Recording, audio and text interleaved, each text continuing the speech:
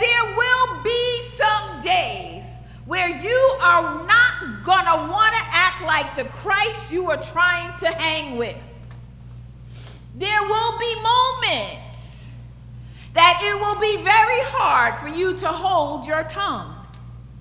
It will be very hard for you to keep your feet, your peace. It will be very hard for you not to go off on someone. It will be very hard.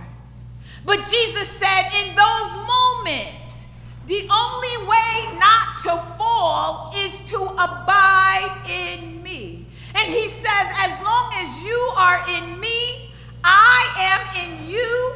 I will give you the nutriments for what you need to remain strong when the storms of life are raging.